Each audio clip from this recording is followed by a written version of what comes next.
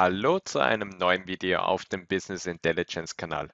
Heute sehen wir uns an, wie du in Excel einen Barcode generieren kannst. Bevor wir loslegen können, bitte ich euch, diesen Kanal zu abonnieren, um noch mehr Videos für den Wissenstransfer im Bereich Business Intelligence und Data Warehousing anbieten zu können. Und bedanke mich sehr herzlich bei allen, die diesen Kanal dadurch unterstützen. Und jetzt starten wir los. Im heutigen Tutorial sehen wir uns gemeinsam Schritt für Schritt den gesamten Prozess zum Erstellen von Barcodes in Excel an. Barcodes werden überall verwendet und heute werden wir sehen, wie man Standard-Barcodes erstellt, die von jedem Barcode-Scanner erkannt werden. Beginnen wir mit Schritt Nummer 1 und zwar erstellen wir die einzelnen Codes. Dazu wähle ich in Excel eine Spalte aus und zwar nenne diese Code und formatiere diese noch. Anschließend kann ich nun aus einer Kombination von Zahlen und Buchstaben einen Code generieren. Ich wähle in diesem Fall unterschiedliche Buchstaben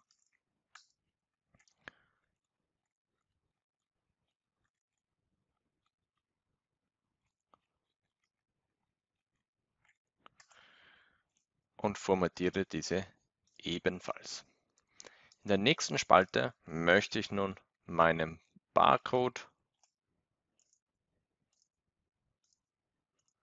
und wähle bewusst eine etwas größere Zeilenhöhe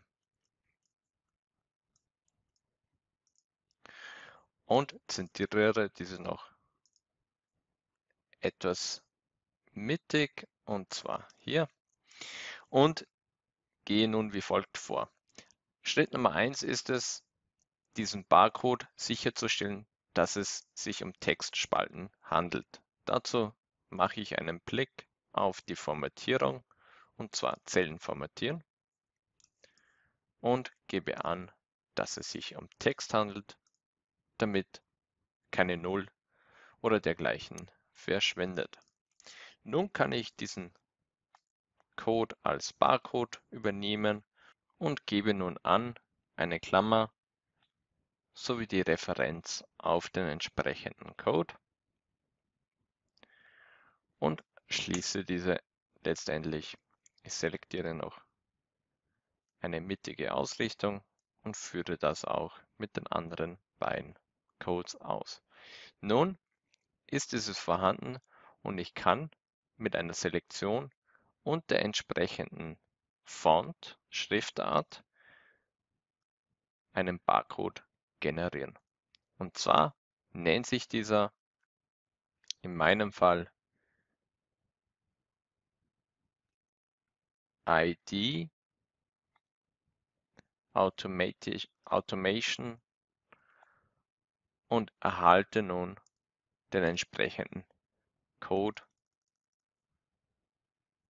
in einer Barcode-Darstellung. Ihr könnt natürlich auch die Codes beliebig ändern.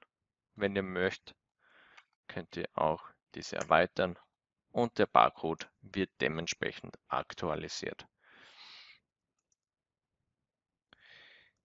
Die Installation dieser Schriftart, welche nicht automatisch in Microsoft Excel vorhanden ist, könnt ihr über den Link unter diesem Video installieren. Und zwar ist die Webseite www.idautomation.com und ist eine frei verfügbare Barcode-Schriftart. Ich hoffe, ich konnte euch das Thema näher bringen.